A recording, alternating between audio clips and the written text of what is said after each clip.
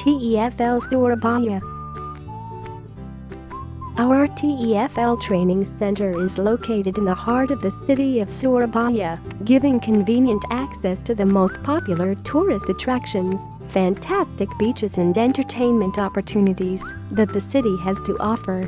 The training center has spacious and comfortable classrooms and all the equipment and resource materials you will require for a successful and effective TEFL certificate program.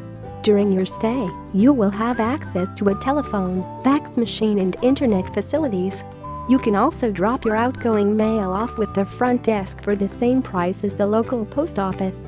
We will post it for you the following day.